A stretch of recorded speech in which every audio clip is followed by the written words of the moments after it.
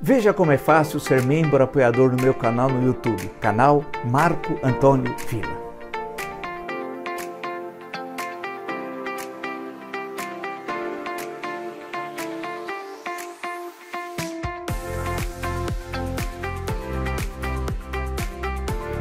Antônio Vila e defenda e apoie o jornalismo independente, especialmente nesse momento tão difícil que nós vivemos no Brasil, mais dramático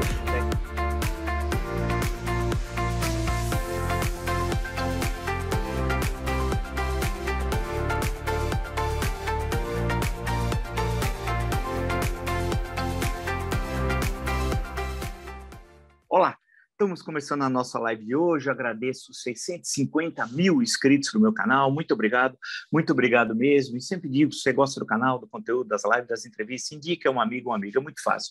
Canal no YouTube, Marco Antônio Vila. Diga para ativar o sininho suas notificações. Coloque like no que vocês gostarem. Utilize como vocês bem fazem e somando tudo, são milhões de comentários, né? Tem a página dos comentários para vocês colocarem as suas opiniões, debater, sempre no nível elevado, como nós fazemos aqui no nosso canal. Uma coisa importantíssima, ser apoiador do canal. Como é que é para ser apoiador do canal? Você observe que antes de começar a live, nós temos aí a apresentação de uma de um eh, chama-se tutorial, mas uma coisa mais simples é como se faz para quem tem alguma dificuldade para querer ser membro apoiador do canal. É muito fácil tem duas formas. Você clica, tem duas formas e você escolhe qual das formas você opta para ser membro apoiador do canal. E por que é importante ser apoiador é, do canal? Esse ano é decisivo na história do Brasil, é o ano mais importante da história da República. Sendo assim, é fundamental apoiar o jornalismo independente, plural, republicano e de qualidade como nós fazemos aqui. Postamos a entrevista de Nelson Marconi. Nelson Marconi é professor da Fundação Getúlio Vargas de São Paulo e assessor econômico do pré-candidato Ciro Gomes. Já está lá. E teremos agora, já está postado no canal. E nós, agora, durante a semana, já temos quatro entrevistas, as mais diferentes possíveis, sempre nesse sentido plural, democrático, é, e de qualidade, e vários economistas que vão participar nesse mês de janeiro, dando, fazendo o, o possível para apresentar as diversas leituras, sempre no campo democrático, republicano, portanto, nazi-fascista, bolsonarista. Aqui não tem espaço, né? É, da, da, do difícil momento que nós vivemos, quer dizer, aquele economista que faz análise e que aponta caminhos para a gente sair desse terrível momento. Lembrar que no Twitter vocês podem me seguir pelo Vila Marco Vila, no Instagram pelo arroba Marco Antônio Vila Oficial, agora nós somos super modernos no TikTok, Marco Antônio Vila Oficial, e tem que escrever Marco Antônio Vila Oficial, porque tem umas outras coisas lá que não tem nada a ver comigo, tá? E lembrar, por fim, é, o meu mais recente livro, Um País Chamado Brasil, a história do Brasil descobrindo o século XXI, que permite né, a todos os leitores, já são centenas e centenas e centenas que eh, escreveram nas diversas redes sociais é, que eu tenho, comentando, é, elogiando o livro, vendo como que, é, conhecendo certos momentos que não conheciam suficientemente, a bibliografia que é extremamente rica tá bom? Bem, vamos lá, mas antes de nós entrarmos direto no nosso ponto, tem aqui uma visita. Vamos falar aqui da visita. Olá, é, eu estou aqui para avisar vocês que eu tenho um perfil no Instagram que tem bastante conteúdo de arte, moda, dicas de estilo e, e muito, muitas outras coisas. O perfil é Letícia de Castro Vila Oficial. Eu espero vocês lá. Até. Até, é bem legal, bem bacana, vocês vão gostar. Entre que vocês vão gostar. Olhando no noticiário, eu queria primeiro falar de um ponto que eu sempre digo aqui, que é essencial, ou seja, que o Bolsonaro é nazifascista, não é conservador. E os bolsonaristas são nazifascistas, não são conservadores. Conservador é uma categoria, é, especialmente tendo como referência a Inglaterra, durante certo momento, a, a dualidade política na Inglaterra foi entre conservadores e liberais. Depois, com a criação do Partido Trabalhista, e aí já estamos é, adentrando depois ao século XX, vão ter os, os, primeiros governos trabalhistas, aí a relação passa a se estabelecer entre, fundamentalmente, a oposição entre conservadores e trabalhistas ao longo, ao longo da história. Agora, no momento atual, por exemplo, o primeiro-ministro do Reino Unido é, é, um conservador. Então, um conservador naquele sentido, por exemplo, você vai analisar a Revolução Francesa, o Burke, Edmund Burke, tem a sua leitura conservadora da Revolução Francesa, aquilo é um conservador. Ou, se você quiser saltar um século depois, na, na Segunda Guerra Mundial, 1940, quando ele assume, né? até 1945, quando é derrotado numa eleição, é incrível esse, o que acontece na Inglaterra, ah, e depois ele volta no início dos anos 50 até 55, é o Winston Churchill, né? que tem, aqui no Brasil, inclusive, saiu ano passado mais uma biografia, um calhamação, é, muito boa, é, mas que eu acho que tem uns defeitinhos em alguns pontos, mas é bastante interessante, além da do Martin Gilbert, que eu já citei, etc, etc, etc, etc. Aquilo é um, um conservador, né? E no caso em particular dele, ele aí também tem uma grande obra literária. Isso é, explica um dos fatores que ele venceu o Prêmio Nobel de Literatura. Aquilo é um conservador. Os nazifascistas bolsonaristas, que estavam agora, inclusive, na Flórida, que fizeram uma reunião lá para variar com os pastores. Oh, eu não aguento mais essa turma. Né? Aquilo se diz conservador, que ele não é conservador. Aquilo é nazi-fascista bolsonarista. É outra coisa. Tá? E como eu sempre digo, eles não são, não são piores do que já são, tão nocivos como já são, porque eles são preguiçosos. É um bando de mandriões. Porque se eles conseguissem construir um partido e não tem, organizações de massa que não tem, é, livros, produzir livros que eles não conseguiram produzir, intelectuais orgânicos que não conseguiram também, nós estaríamos certamente numa situação muito pior esse país estaria à beira da guerra civil.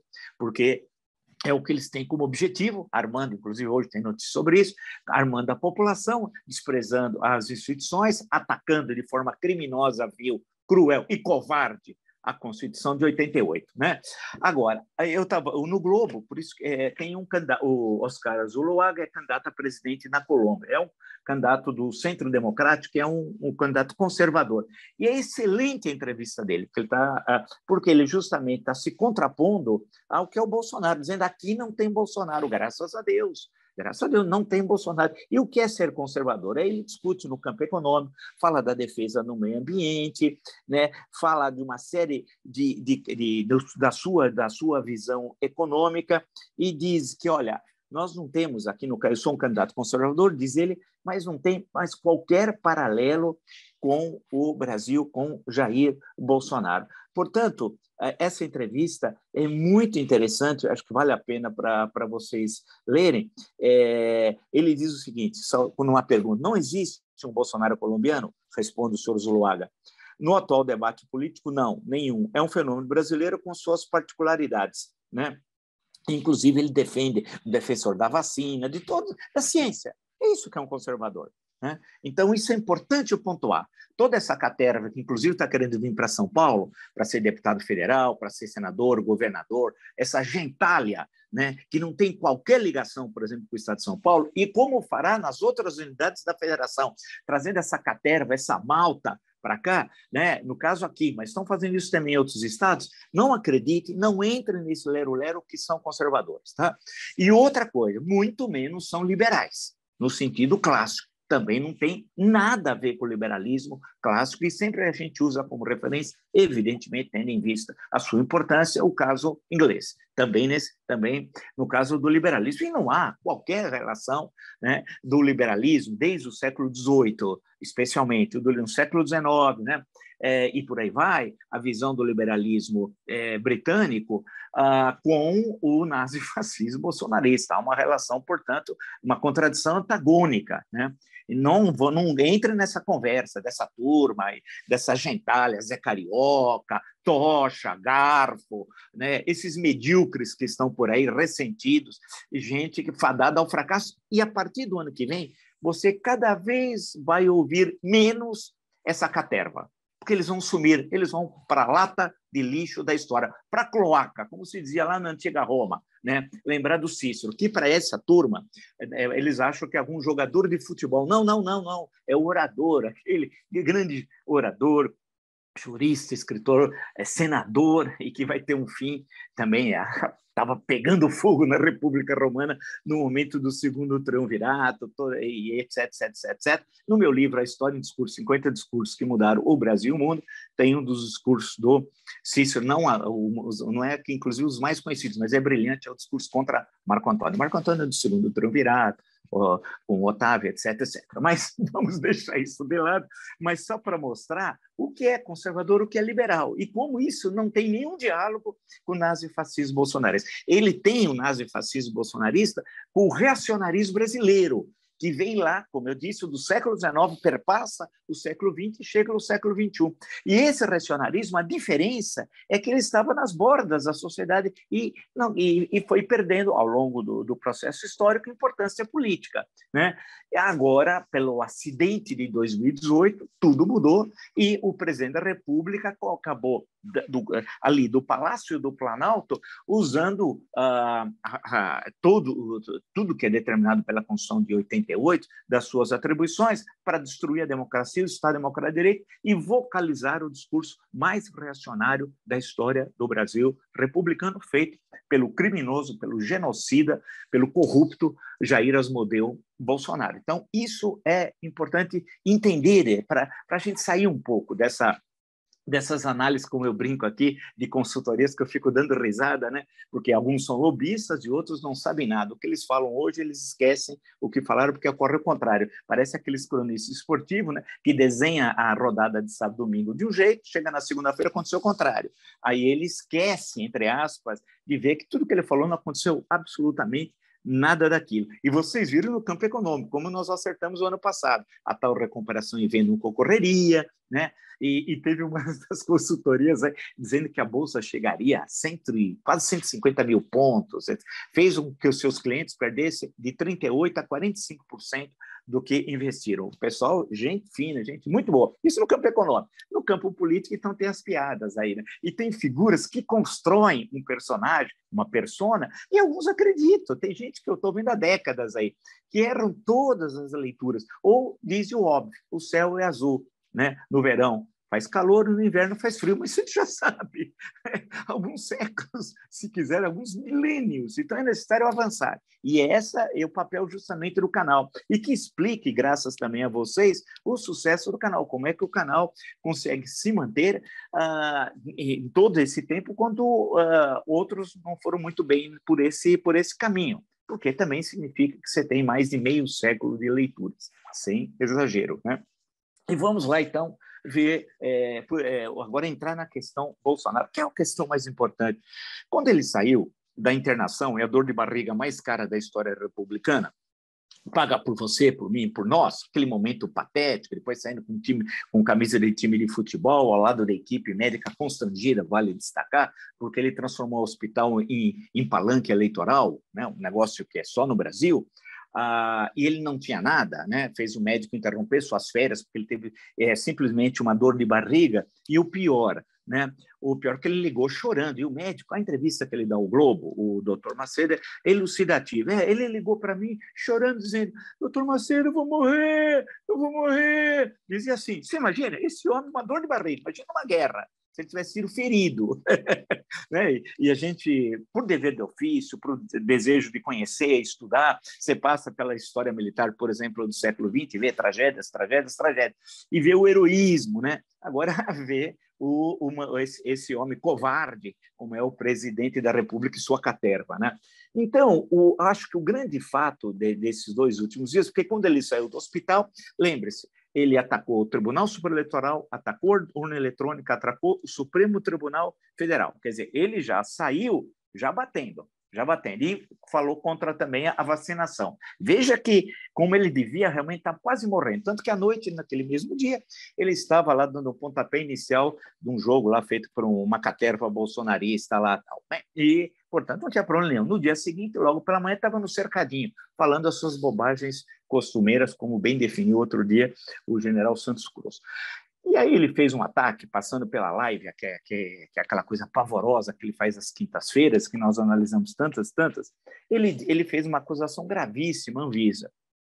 Já tinha feito, três semanas antes, também numa live, uma acusação gravíssima, Anvisa pedindo o nome do, do, do, corpo técnico e daqueles que autorizaram a vacinação infantil. Isso foi há três semanas atrás, quando ele fez, uh, eu estou citando aqui como fonte um Globo, Bolsonaro intimida técnicos da Anvisa e diz que vai divulgar nome de quem aprovou vacinas para crianças. Ou seja, era uma sentença de morte. Você tem um presidente da República negacionista, é, cruel, covarde, corrupto, ladrão, e que agora é, ele transforma a presidência da República numa extensão do, do escritório do crime, do qual ele participa com o capitão Adriano. Não continua no, no, no presente, porque o capitão Adriano foi direto para o inferno. Né? Morreu na Bahia daquela forma que até hoje não foi devidamente esclarecido, foi executado pela política, pela polícia militar baiana e até hoje eram 13 celulares, salvo engano.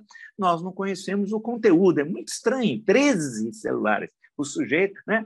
Bem, eles eram muito amigos íntimos e sócios. Ele chegou até, através do gabinete de Flávio, a condecorar um assassino, um homicida. E ele age na presidência da República como se ele estivesse lá em Rio das Pedras, determinando quem devia viver e quem devia morrer. Né? É isso, né? porque o Adriano era um homicida uh, conhecido, um, um, um, uh, um homicida, bastava, era um matador de aluguel, um matão de esquina, como diz lá em espanhol, era, era chegar e, e falar, olha, tem que matar aqui, ele dava 50 mil reais, ele ia lá e matava. E ele é amigão também do Rony Lessa, o assassino que, de Marielle Franco, por sinal, até hoje os fatos não esclarecidos, de gente íntimo dele, tanto que morava no mesmo condomínio dele, morava em frente, amigão do Bolsonaro. A que ponto baixo nós chegamos?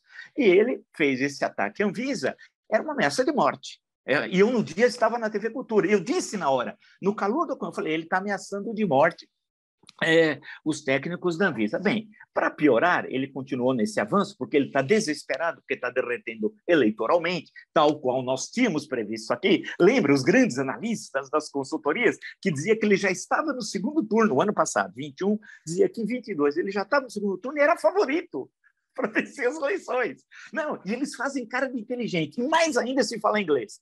Aí, então, é gênio da raça. Falando inglês, tem uma consultoria estrangeira que eu morro de eles não acertam uma. E, e, aparece gente entrevistada em página inteira. Aí faz cara séria, tal.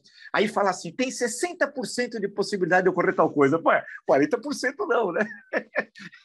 É inacreditável, né? A picaretagem, desculpe usar essa expressão direta, mas é picaretagem. Não há um entendimento de conjuntura, a complexidade dos fenômenos, a especificidade do Brasil, entender as contradições de classe, a história do Brasil, as questões econômicas, a dificuldade de entender um, entender um país que você tem hoje regiões metropolitanas com 10, 20, 30 milhões de pessoas, com seríssimos problemas, um país que combina realidades muito diferentes, temporalidades diferentes. Essa é uma boa, uma boa expressão. O Brasil combina ao mesmo tempo, no mesmo momento histórico, temporalidades distintas. Mas para isso precisa estudar e precisa de um pouco de inteligência também, para refletir, para compreender a complexidade do, do, do, processo histórico, né?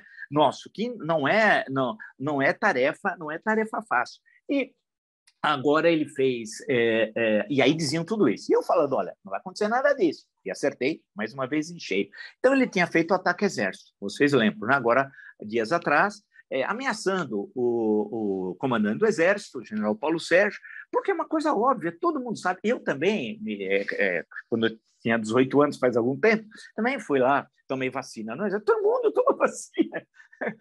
Isso é a coisa mais comum, sempre foi. Ou quando você vai para certos locais aqui no Brasil, ou quando criança, bebê, todos nós, o Brasil é o país que mais vacina no mundo. Então, o que o Exército está fazendo é óbvio, ele ameaçou. Ele, porque acha que, ele acha que o exército é dele, o criminoso. Ele acha que o exército é a milícia do escritório do crime do Adriano. Não é.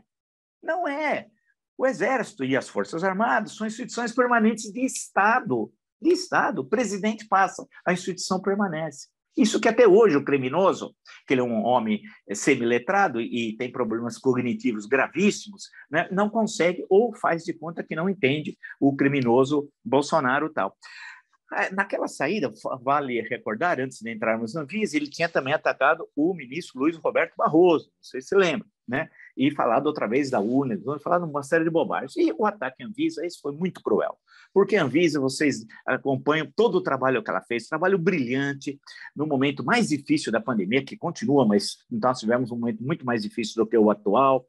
Né? Ah, passou sessões ao vivo que o Brasil inteiro assistiu, né? o caso da Coronavac, tudo, os seus técnicos, o seu trabalho, o primeiro presidente da Anvisa, doutor Gonzalo Vecina, várias vezes entrevistado aqui, entrevistado aqui no nosso canal, né? um professor de, de absoluto reconhecimento científico. Né? E, e, o depoimento na CPI da pandemia do contra-almirante Barra Torres, presidente da Anvisa, que foi importantíssimo, que na verdade foi quase que um divisor de águas na história da CPI, que era o presidente da Anvisa. Né? Ah, e é uma agência, a agência ela tem autonomia, né? É bom lembrar, tem mandato fixo, etc, etc. As agências foram criadas na presidência Fernando Cardoso. As, as agências, estou usando o plural, porque são várias. No caso, em tela, a Anvisa é de vigilância sanitária. Bem, aí ele fez um ataque violento à Anvisa, e eu vou ler aqui o, a, a, a correspondência, vamos chamar assim, a nota divulgada, uh, e aí dá para entender o que ele falou e nós fazemos com base nisso uma análise é, aqui nesse nosso encontro. Diz a nota, abre aspas, estou usando como fonte o UOL. Em relação ao recente questionamento do presidente da República, Jair Messias Bolsonaro, quanto à vacinação de crianças de 5 a 11 anos, no qual pergunta, abre aspas, qual o interesse da Anvisa por trás disso aí? Fecha aspas. O diretor-presidente da Anvisa, Antônio Barra Torres, responde: Senhor presidente, como oficial general da Marinha, servi ao meu país por 32 anos. Pautei minha vida pessoal em austeridade e honra. Honra minha família, que com dificuldades de todo tipo permitiram que eu tivesse acesso à melhor educação possível para o único filho de um auxiliar de enfermagem e um ferroviário.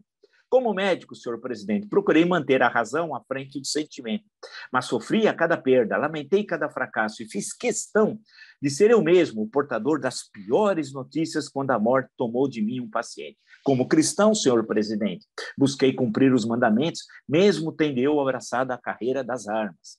Nunca levantei falso testemunho. Vou morrer sem conhecer riqueza, senhor presidente. Não, mas vou morrer digno. Nunca me apropriei do que não fosse meu e nem pretendo fazer isso à frente da Anvisa. Prezo muito os valores morais que meus pais praticaram e que, pelo exemplo deles, eu pude somar ao meu caráter.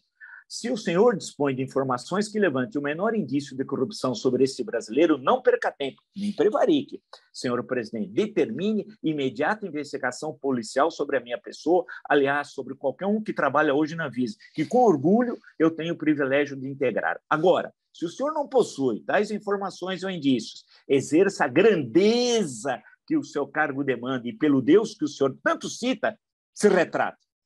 Estamos combatendo o mesmo inimigo e ainda muita guerra pela frente. Rever uma fala ou um ato errado não diminuirá o senhor em nada. Muito pelo contrário. E assinado Antônio Barratos, diretor-presidente Anvisa, contra-almirante RM1, médico Marinha do Brasil. É um tapa na cara, com muita elegância, com muita educação, de um representante digno das Forças Armadas contra o capitão criminoso, terrorista, que saiu com desonra do Exército. E é um tapa na cara na quadrilha é, de alguns militares, se veja como são diferentes, né? e estou citando aqui o, o Almirante Barra Torres, e essa quadrilha que está aí no Palácio do Planalto mamando nas tetas do governo que envergonha as Forças Armadas. Forças Armadas é o, é o Almirante Barra Torres, não é essa quadrilha que está aí no Palácio do Planalto e em dezenas de empresas, são centenas de oficiais que triplicaram o salário.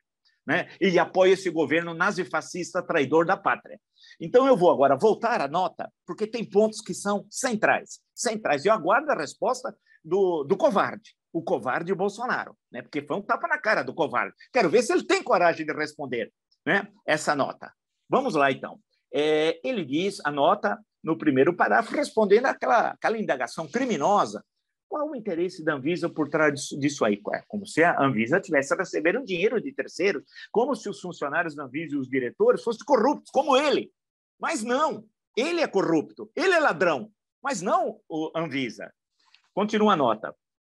Eu sou um oficial general da Marinha do Brasil, servi o meu país por 32 anos. O criminoso Bolsonaro ficou no exército oito anos e saiu com desonra é, é, ele estava preparando o livro do Macluf Carvalho, O Cadete e o Capitão, né? um atentado terrorista para explodir o Rio de Janeiro. Então, temos uma diferença entre o senhor Barra Torres e o criminoso Bolsonaro. Ele serviu com honra durante 32 anos, marcou a vida dele com austeridade e honra, e diz de com quem era filho e esses valores que os seus pais transferiram a ele. Né? É, ele diz que, como médico, não é fácil, porque você muitas vezes, quando você perde um paciente, dá aquele sentimento duro de fracasso. E diz que, como cristão, ele buscou cumprir todos os mandamentos, mesmo tendo abraçado a carreira das armas. Olha a construção, né? Porque a, a carreira das armas é a carreira da guerra, do confronto e da morte, né? E ele diz: nunca levantei falso testemunho.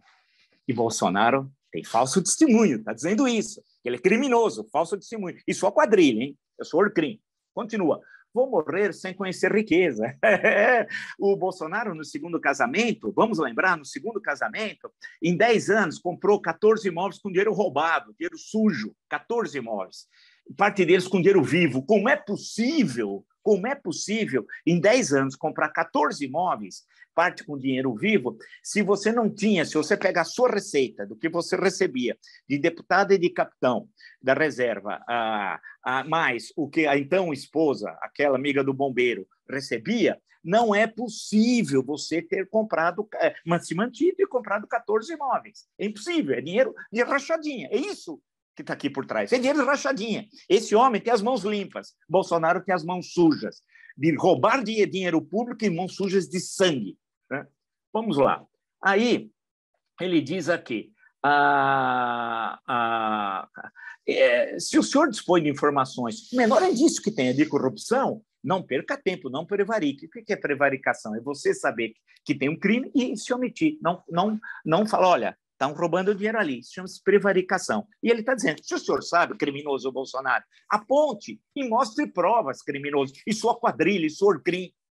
Cadê? Onde estão as provas que a Anvisa está ah, requerendo que receber dinheiro por do pano? E é que um criminoso como o Bolsonaro e sua quadrilha, o, o Bolsonaro imagina que o mundo é sua imagem e semelhança. Assim como a quadrilha bolsonarista nazifascista. Imagina que a sua, que a sua visão de mundo, sua ação é o mundo é igual. Não é. Não é.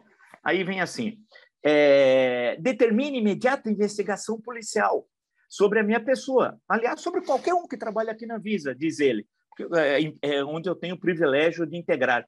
E diz o seguinte: é, se, você, o senhor não possui tais informações ou, ou indícios, exerça a grandeza. Falou que ele é pequenininho, covarde. Né? Exerça, e, e, e o que o seu cargo demanda, e pelo Deus que o senhor tanto cita, que é falso. Bolsonaro tem as mãos sujas de sangue, ele não é cristão. Só os oportunistas, os falsos pastores, é que usam, dizem que ele, em nome de Jesus, então, no comando, eu sempre disse, dos falsos pastores. Né? E aqui é o, o Bolsonaro, ele está dizendo o seguinte, mas o senhor fala tanto em Deus, se retrate. Esse é o ponto central. É, se retrate, se retrate, portanto, criminoso. Né? Ele conclui, estamos combatendo o mesmo inimigo e ainda há muita guerra pela frente. E é verdade. Rever uma fala ou um ato errado não diminuirá o senhor em nada, muito pelo contrário. Ou seja, firmeza, educação, caráter, honra, compromisso com o Brasil, com a ciência, com a vida dos brasileiros. Tudo o que o criminoso Bolsonaro não tem. Tudo que o assassino Bolsonaro não tem. Essa nota é importantíssima. Ela pode ser um divisor de águas. E por quê? Há um sinal claro que ninguém suporta mais o Bolsonaro e sua crime.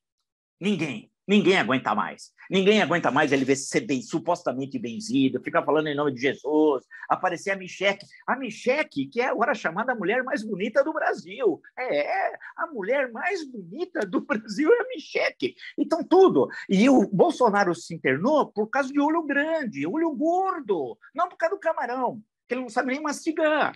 Não sabe, ele não, quem não consegue nem cuidar da boca, como pode cuidar de um país? Né? É inacreditável como as pessoas são, são capachos, porque quem fala isso é capacho. É capacho. Não tem honra, não tem caráter, não tem espinhareta. Serve a qualquer um, com os objetivos os mais baixos possíveis. E aí vai meter religião no meio, forma aquele coquetel falso, de mentiroso. Então, o que está sendo dito aqui, de forma muito elegante, pelo contra-almirante, é isso. Ele tem de se retratar. Ele tem de, de porque ele, ele acusou de corrupção. Ele, a Anvisa, Onde está? Mostre as provas, corrupto. Ele que tem o peculato. E o processo só não anda no Rio porque é interesse político. Quando mudar a política, 2023, guardem esse vídeo, o processo vai andar. Aí vai andar, e vai andar rápido, porque provas não faltam. São, são 104 familiares que a segunda esposa do Bolsonaro, do bombeiro, 104 que empregou, empregou para que era tudo fantasma. E os que apareciam, mesmo assim, entregavam a maior parte do, do que recebiam para o gabinete. Era rachadinha, coordenada por um criminoso, o Queiroz. O Queiroz, que agora passa por aí, tira selfie, mas isso vai acabar. Isso vai acabar, essa farsa vai terminar logo. E os processos vão andar, inclusive, nas cortes superiores. Aguardem, aguardem. Então, o que ele apresentou aqui pode ser um divisor de águas. Primeiro, em relação à ciência, à pandemia, agora o temor da Omicron, Omicron e etc, etc, e variantes, a questão da vacinação infantil. O outro, o Exército. Creio que o comandante Paulo Sérgio não vai se ajoelhar, não vai ser capacho de um capitão terrorista. E ele sabe que é um capitão terrorista, porque o alto comando do Exército sabe quem é o criminoso Bolsonaro. Né? Alguns, se não foram contemporâneos, sabem da sua história. Então, é uma. Por outro lado, o Tribunal Superior Eleitoral já sentiu a mensagem. Né? Ele vai voltar ao ataque às urnas eletrônicas. E o Supremo Tribunal Federal também já recebeu a mensagem de que ele vai agora atacar centralmente a instituição e vai ter querer desmoralizar também o processo eleitoral. Aí a resposta dos democratas republicanos é fundamental. Não cair nas provocações do nazifascismo bolsonarista, isso é central, porque eles vão tentar criar incidentes incidentes em atos públicos, em locais mesmo que fechados, incidentes de rua, é, faz o quadro do nazifascismo, né? do Bolsonaro tal. Ele está, a, a campanha, evidentemente, vai, a candidatura vai derreter, derreter, derreter. Apoio, achar que vai falar em mim, as Forças Armadas, meu Exército, não pega mais, isso já passou. A, a questão da, da, da, da sanitária é gravíssima, é gravíssima, e não é com a fala do Queirodes, grande Queirodes, né? É, que fez o julgamento de Hipócrita, não de Hipócrates, né? É, também isso não vai resolver. A tendência é muito grave a situação é extremamente preocupante. Os hospitais estão lotados, tem a questão da influenza, etc. E por aí vai. Não há política econômica. Há política não coisa alguma. Não há política de saúde, não há política de educação. Em relação à infraestrutura, não há nada. É o caos. E o país não aguenta o caos. Então a temperatura vai subir muito rapidamente e a candidatura dele vai derreter. E aí vai acontecer aquilo que nós falamos aqui. E é sempre acertamos, que não falamos 60%, 40%, 30% ou 70%, essas bobagens, ou os lobistas que se dizem analistas, etc. Não, não, não, não, não. O que nós, com essa temperatura aumentando, aí ele, vamos ver o que vai acontecer. Ou ele retira a possibilidade de ser candidato à reeleição e se mantém no cargo, ou pode ser também que ele resolva retirar o time dele de campo. Principalmente, aí volta o que eu sempre digo, agora estão usando, inclusive a mesma expressão inesperado. Pô, fui eu que falei aqui tantas vezes, o inesperado eu faço uma surpresa, brincando com eu, a brisa do Jonial. Vai aparecer, vai começar a subir ah, denúncias de corrupção, etc. E ele não vai ter mais base de sustentação. Qual é a saída? Ele vai cada vez falar para menos. O que, é cada vez falar mais para menos?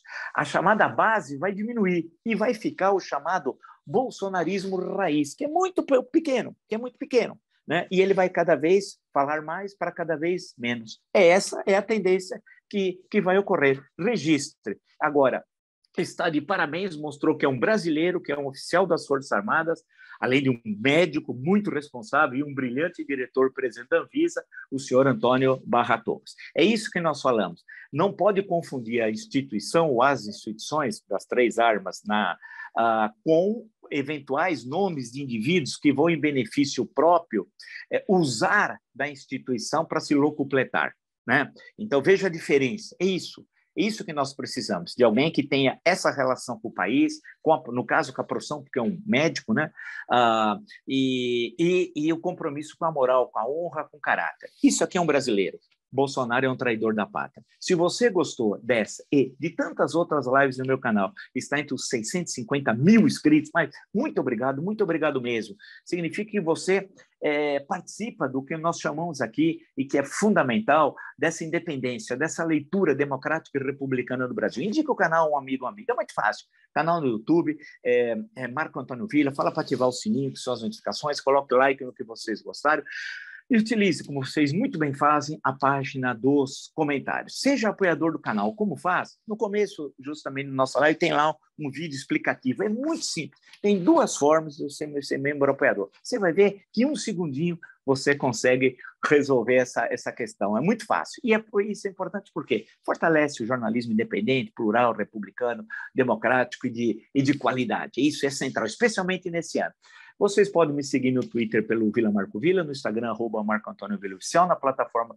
Ah, lembrar também, antes que eu me esqueça, na, no TikTok, agora eu sou super moderno, Marco Antônio Vila Oficial, vocês encontram. Lembrar do meu mais recente livro, Um País Chamado Brasil, a história do Brasil é, do descobrimento ao século XXI. Recordo a entrevista com o Nelson Marconi que nós postamos, é, e nós vamos entrevistar economistas de todos os partidos políticos candidatos a presidente da República, né, ah, dando a sua visão de mundo, isso é muito importante para qualificar as reflexões sobre o Brasil. É, lembrando também é, do Instagram da minha mulher, arroba Letícia de Castro Vila Oficial, que é bem bacana, como ela disse no início, e é, e é verdade, é bem legal, tem umas dicas bem interessantes, tá bom? Nos encontramos então amanhã. Até!